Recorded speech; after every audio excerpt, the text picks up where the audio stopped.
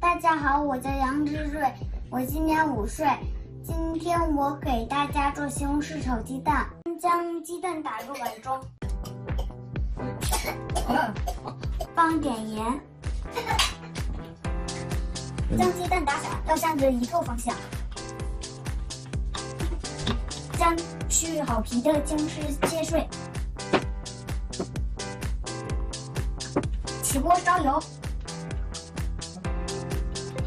放入鸡蛋。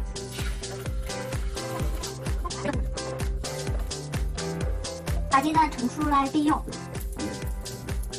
锅中再次浇油，放入切好的葱花，再放油，再把切好的西红柿倒入锅中，撒点八仙酱，在锅中西红柿进入翻炒，有点烫，烫着了。当玻璃，你看它。再放一勺石糖，然后继续翻炒。